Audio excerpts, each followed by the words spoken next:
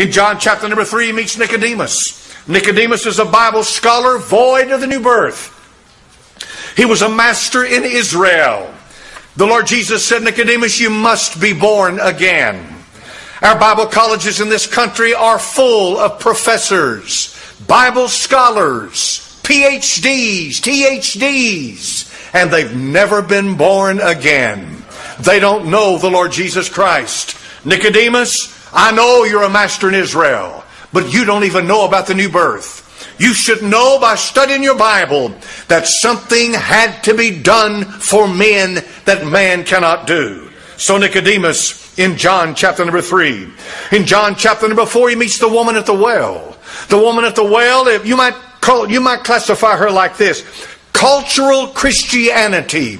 What's that? She'd had five husbands, and the man she was with now was not her husband. All over East Tennessee, we've got redneck religion. We're eating up with it.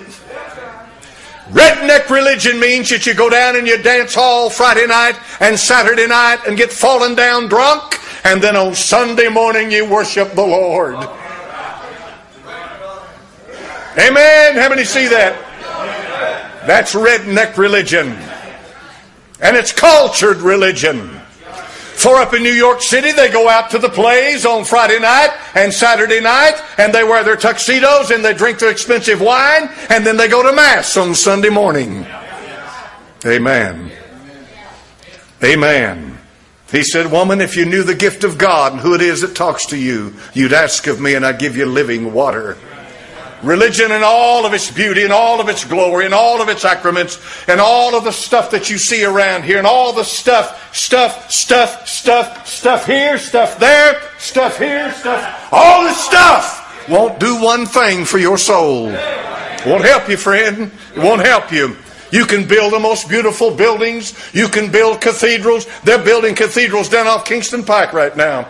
Cost millions of dollars. I saw one the other day. I thought, my goodness, this looks like what they build in the Holy Land. Blew my mind. I thought this little box we come to on Sunday morning is nothing compared to these huge cathedrals with their domes and all of that. And I thought to myself, God does not meet in buildings made with stone. God is not confined in walls that hold us in.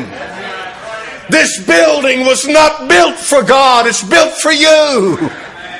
Because if it rains and you don't have this roof over your head, you get wet. God doesn't get wet. so when you build these huge cathedrals and put millions of dollars into it, and you talk about this as the house of God, let me tell you what the house of God is. The Bible says that every last one of you are a stone that's been implanted in a wall, that by not made with human hands, that you have the humanity of Christ that covers you, and then the gold of the deity of Christ, and it becomes a habitation of God through the Spirit. It is a building of God not made with hands. Amen.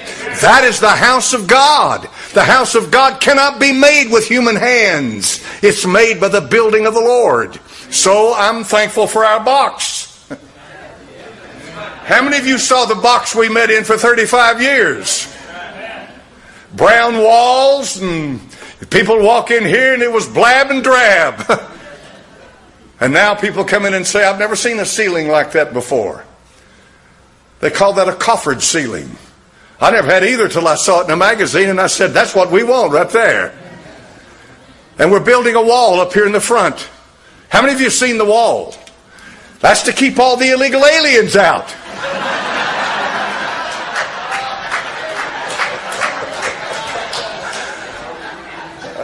We'll be accused of that. No, these doors are open, whether you're a Mexican or whether you're a, a, a Swede or what makes any difference what you are.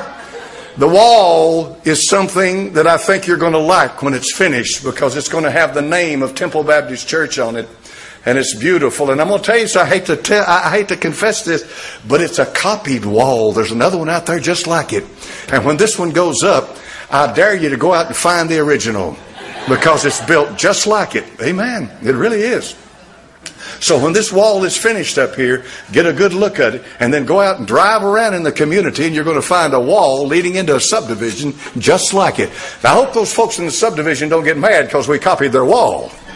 They might have copied that wall from somebody else. But the bottom line is, it's just a wall. Right? Just a building. It's just a ceiling. Just a microphone. But where's the Lord? Amen.